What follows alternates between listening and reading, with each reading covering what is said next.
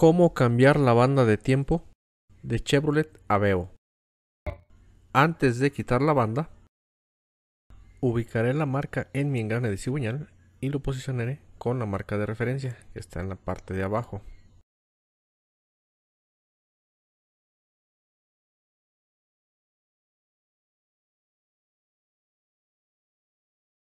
y veré en mis árboles de levas lo que son dos marcas que deberían de estar aquí.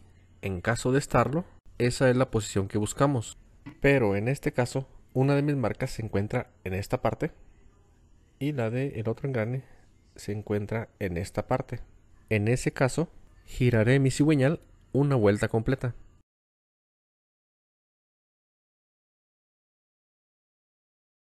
Ahora sí, las marcas de mis engranes de árboles de levas están al centro.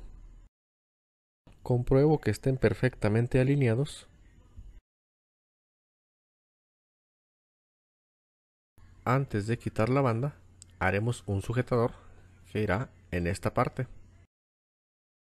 Yo voy a hacerlo con una solera de media por 316.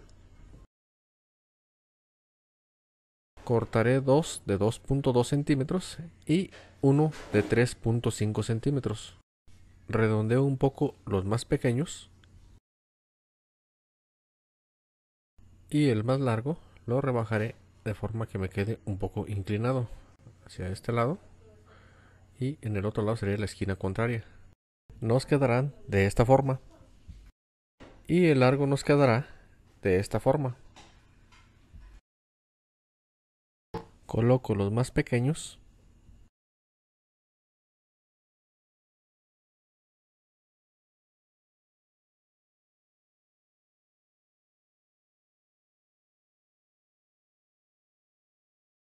y enseguida el del centro. Marcaremos y haremos también unos puntos de soldadura.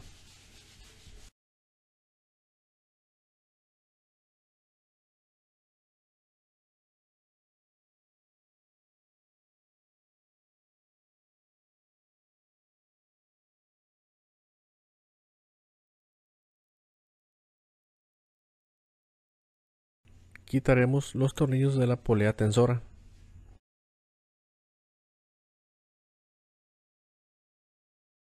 Y retiramos la polea loca. Esto lo haremos para retirar la banda. Les aclaro que para quitar la banda originalmente se debe de hacer a través de la bomba, aflojando la bomba y girándola. Pero generalmente la bomba de agua está muy pegada, por eso retiramos la banda de esta forma.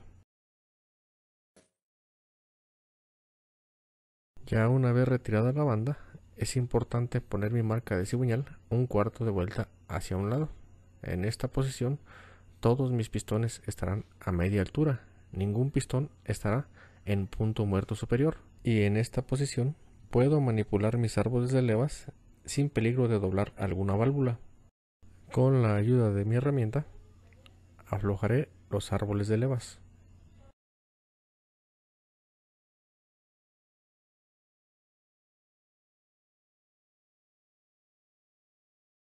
Retiramos los engranes de árboles de levas, podemos ver cómo al quitarlo se giró un poco el engrane de árbol de levas de admisión.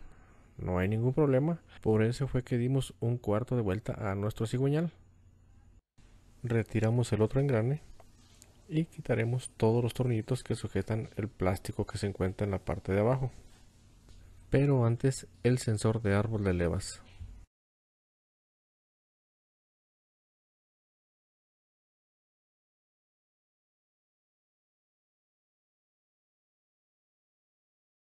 Drenamos el anticongelante y retiramos nuestra bomba de agua. Estas son las piezas que vamos a cambiar. Es importante en estos modelos cambiar la banda de tiempo, tensor, bomba de agua y polea loca.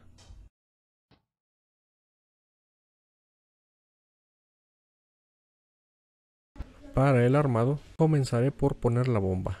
Es importante que al empaque de la bomba no ponerle ningún tipo de pegamento, pero sí pondremos un poco de grasa. Es importante limpiar muy bien el alojamiento de la bomba, Para acomodar la bomba buscaremos lo que es esta parte, está más rebajada y irá al lado del motor. Y lo que es esta esquinita nos quedará apuntando hacia el tornillo que está en la parte de abajo.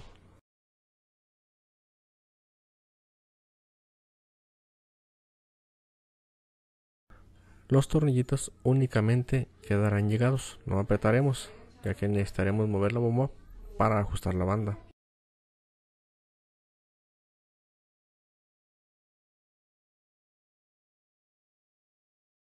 Colocamos su plástico y sus tornillitos. El sensor de árbol de levas. El tensor de la banda.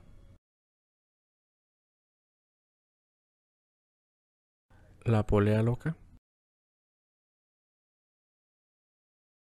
Los tornillos del tensor de la banda llevan 25 libras.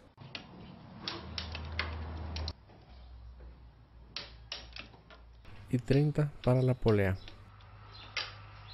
Ahora sí, coloco mis engranes de árboles de levas. El engrane de árbol de levas de escape tendrá una letra E, la cual irá hacia afuera. Colocaremos el engrane haciendo coincidir el orificio con la punta que tiene en el árbol. El engrane de árbol de levas de admisión tendrá la letra I, la cual irá hacia afuera y colocaremos el engrane haciendo coincidir el orificio con el piquito del árbol.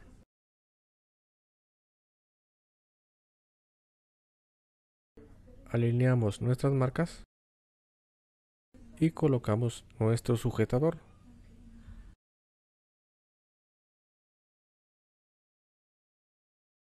y daremos el torque que es de 60 libras. Comprobamos la alineación de las marcas de los árboles de levas. Alineamos la marca del engrane de cigüeñal con la marca de referencia.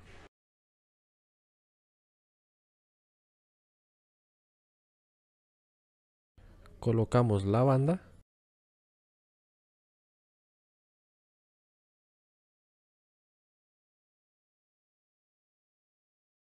con la ayuda de una herramienta de una 5 octavos de apertura,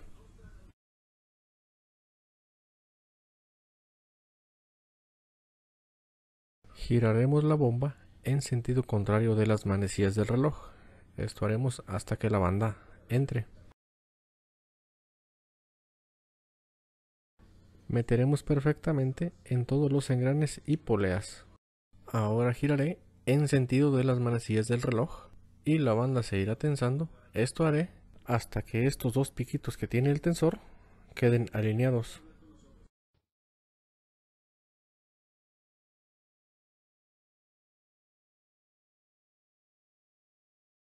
Ahora sí, aprieto mi bomba de agua a 6 libras.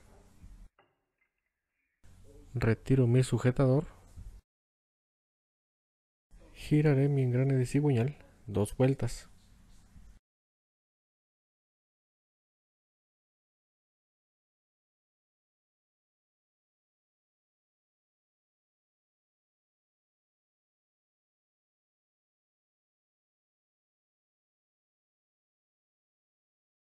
compruebo las marcas de mis árboles de levas